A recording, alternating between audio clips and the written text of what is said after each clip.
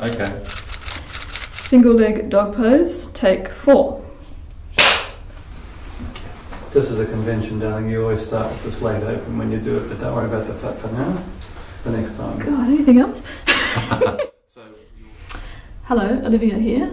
I wanted to show you a truly excellent calf, ankle, and for some of you it'll be a bit of a hamstring stretch as well. It's called the single leg dog pose.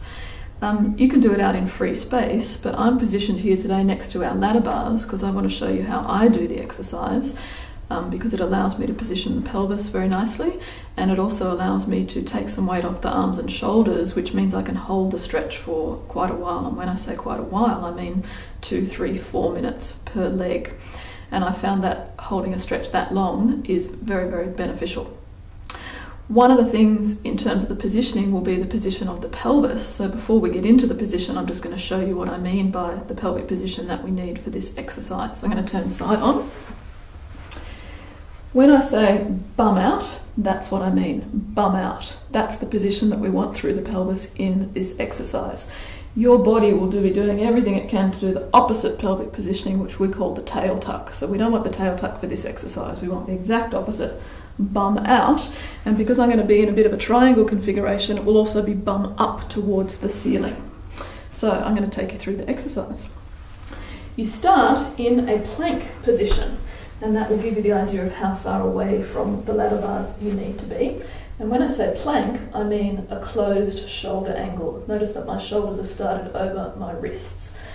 It's a one-legged exercise, so I'm going to start with my right leg and initially just put this other leg out of the way so you can look at the position of my foot and my ankle. You want to make sure that the foot you're working with is pointing straight to the front because if you have the foot angled out a little bit, you avoid what for most people is the tightest line in the calf. So foot pointing directly to the front. And you also want to preserve the ankle alignment. Very often people's ankles roll in or pronate, so you want to be correcting for that and lift the arch up off the floor. The leg that I'm stretching, the right leg, the knee is pressed straight actively via my quadriceps. So this is a straight legged calf and ankle stretch.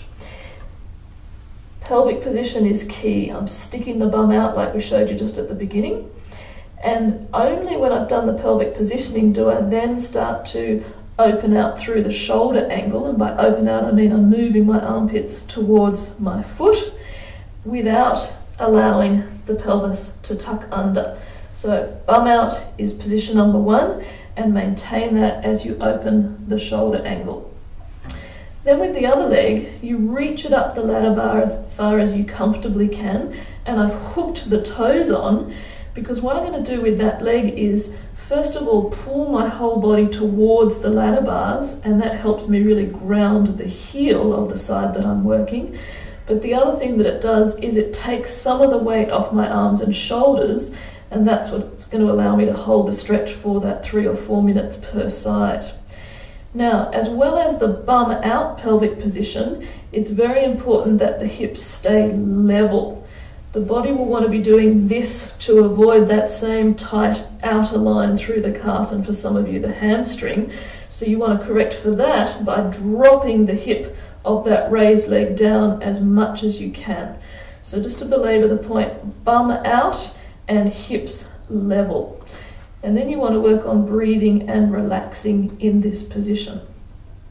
The contraction for any calf or ankle stretch is to press the ball of the foot down through the floor.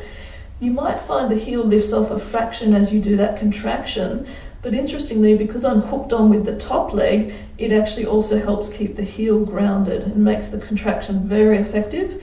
Do that for a count of five. At the end of the contraction, take a breath in and stick the bum out, level the hips, ground the heel, and then as you breathe out, see whether you can move the armpits a bit further through towards the toes. Breathe and relax. To come out of the position, bring the raised leg down, take a deep breath in, because you might be slightly lightheaded as you come upright, and sit back. So, what I'll do now is show you the same exercise on the other leg and I'm also going to show you a way to make the stretch a little bit easier if you find that if you have the hands and your foot on the same level, floor level, you find it almost impossible to do the pelvic tilt, lifting the hands up on a block of some sort will help you with that pelvic positioning.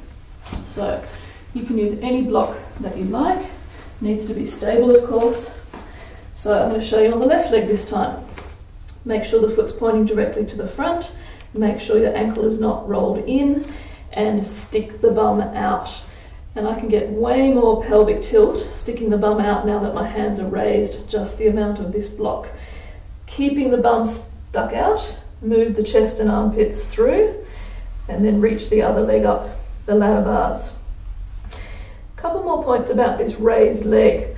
The higher you reach it up, the more there's a tendency for the hips to open out. So if you're aware of that, what I recommend you do is actually don't reach the foot up quite so high and the raised leg is quite bent, that's not a problem. But now I can make sure my hips are level and I can really pull with that raised leg to push the heel down and take the weight off my arms and shoulders. Breathe and relax. Do the same contraction on this second leg. Push the ball of the foot hard through the floor for the count of five. Stop, take a deep breath in, re-tilt the pelvis, stick the bum out, level the hips, and keep in that pelvic position then you try and take the armpits a bit further through. Breathe and relax. To come out of the position, take a deep breath in, bring the leg down, and bring yourself upright. In my own body, I was super, super tight in the ankles and calves, and what I found is holding a stretch like this for a long period of time is what has really given me um, some new range in that joint. So give it a go and see how it works for you.